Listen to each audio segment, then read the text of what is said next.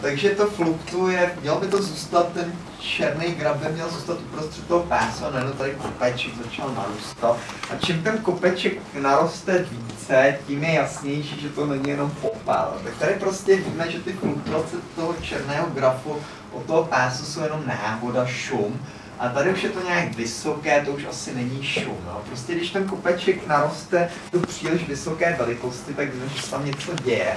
A to se dá vypočítat pravděpodobně, dá se vypočítat pravděpodobnost toho, že to není jenom popel, že to není šum a že tam musí být nová částice.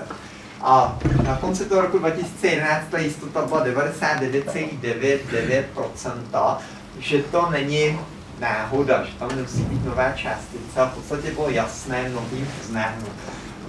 Sadili jsme si na to správně, že ten Higgsův bozon opravdu existuje a má hmotnost 125 GeV, přesně řečeno klidovou energii 125 GeV. Ovšem oficiálně ten objev, já nemám ten koncový grafik, když by byl zajímavý, byl ohlášen až 4. července 2012 na Den nezávislosti v Americe, takže samozřejmě pili dvojnásobné množství alkoholu. Opravdu jsem dostal reportáže o tom, kolik to vypili, kdo to rozléval třeba na institutu v Princetonu, obdivuhodné věci, o se dozvíte o slavných fyzicích.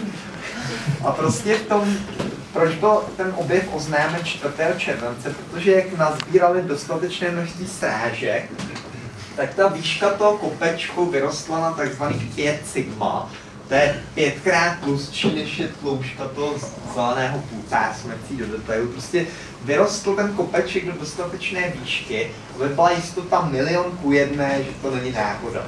A když je v částicové fyzice jistota milion ku jedné, neboli jinými slovy pět standardních deviací, co nás určitě znechutilo. Prostě milion ku jedné je kryt, to není, to není jenom reklama, to je opravdu číslo, který platí té konvence. Když je to ku jedné, tak fyzik má právo říct, že učinil objev. Pokud je to méně než milion ku jedné, tak může říkat jenom, že má nesmělé známky toho, že to neučinilo A to je jako možná na to připadá jako zbytečná jistota, ale v skutečnosti není. Tím se roz, odlišují tvrdé vědy, jako jsou částicová fyzika, která je pravděpodobně nejtvrdší, ale řada dalších věd adoptovala stejný standard v podstatě už od měkkých věd, jako jsou třeba různé lékařské výzkumy, kde lidé jsou šťastní, když najdou něco z 95% jistotu, někde je nižší částice fyzici vědí, že když něco formálně vyjde z 90% jistotou, tak je to absolutně nejisté, je to 50-50.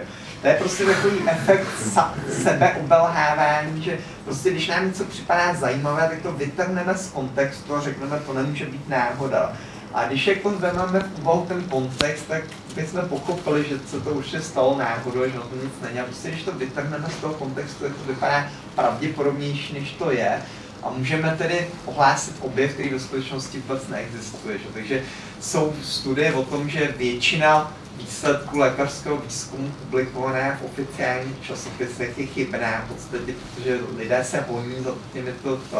A prostě ve fyzice ta jistota, nebo v částicové fyzice ta jistota jedna po milionu je dostatečně vysoká na to, že to riziko chyby je přece jenom malé, aspoň chyby způsobené náhodou, a že můžeme stavět, že částicová fyzika potřebuje stavět ty teorie jako mrakodrap, jedno patro na druhém, a prostě nemůže mít riziko jedna ku deseti, že jedno patro spadne, že by bylo riziko jedna ku deseti, že patro mrakodrapu se zhroutí, tak je v podstatě zajištěné, že ten mrakodrap spadne, že prostě to si nemůžeme dovolit a právě proto je třeba jedna ku milion. Další procent jsem se